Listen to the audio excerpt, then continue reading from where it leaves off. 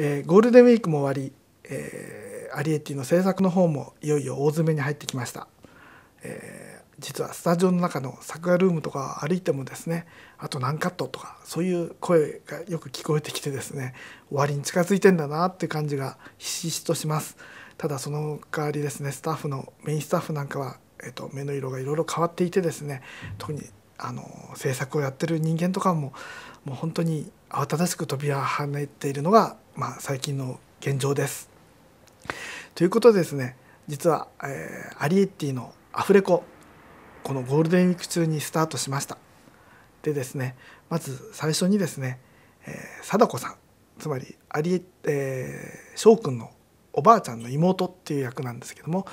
このお屋敷の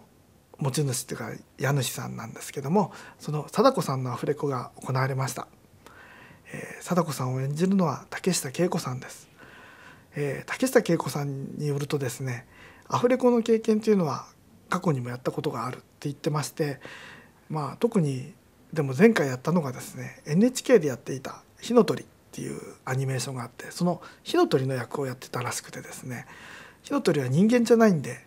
やっぱり口をあんまり動かないっていう話をしてましてですね今回人間の役をやるのは初めてだということでそれなりのあの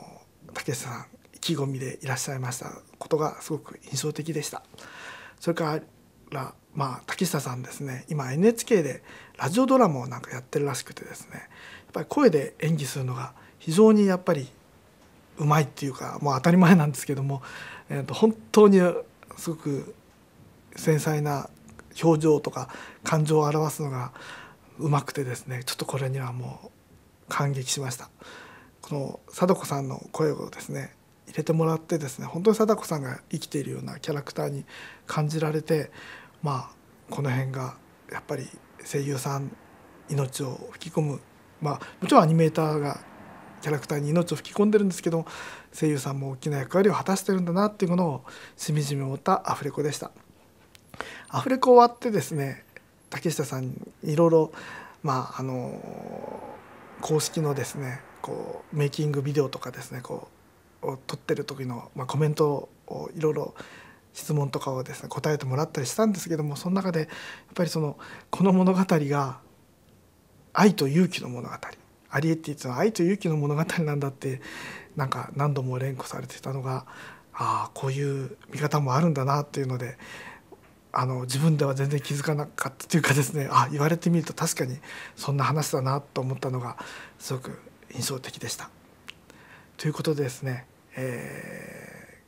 ー、アリエッティいよいよアフレコスタートしましたスケジュールは飛び飛びでこれから行われるんですけどもまあそれから、えー、いろいろとですね分かったことがあったらこの場でお伝えしていこうと思っております。